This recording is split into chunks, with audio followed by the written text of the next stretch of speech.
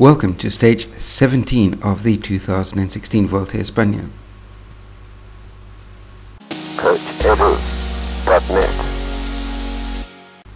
After several failed attempts involving polka dot jersey holder Kenny Elissonde of FDJ and his main rival Omar Fraile of Dimension Data, a breakaway eventually took shape after 50 kilometers of racing, and that involved 27 riders.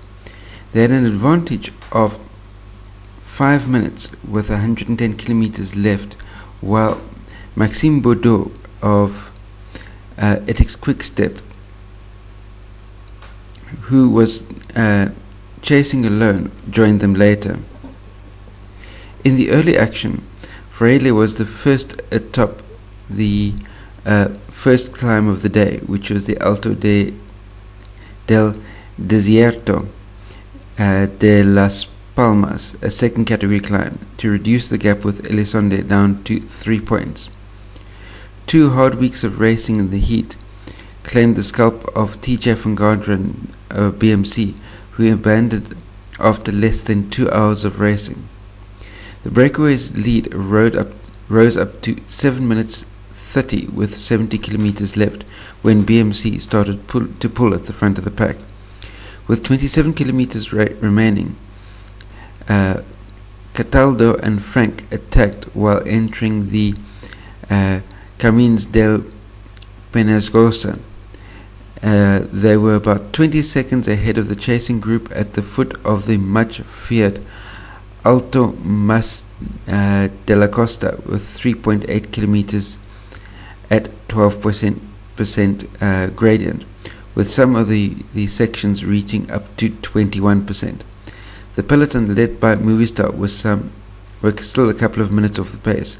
With two and a half kilometers left, Frank was on his own and Cataldo hung on a dozen seconds behind before being caught by Robert Gesink, Koenig and Herrada. Koenig and Gesink chased Frank, but the Swiss was too strong and finished six, six seconds ahead of Koenig and uh, 11 seconds ahead of Gesink. Further down the road, Contador attacked the group of favorites and was joined by Quintana and Chaves. They were eventually ridden down by Froome, who, who had struggled to respond to Contador's initial acceleration. However, the four of them finished together for no major cha- no changes whatsoever to the top places on the general classification. So, in summary, Swiss Mathias Frank solo to victory in one of the demanding stages of this year's Vuelta, prevailing at the top of the Alto, de, Alto Mas de la Costa at the end of the uh, Camins de uh, Peñagolosa. He earned his team their second victory in this edition after Jonas van uh, Genechten. The Top Gun neutralized themselves as Nairo Quintana, the red jersey holder, finished with Chris Froome, Esteban Chaves and Alberto Contador, who lit up the race in the final climb.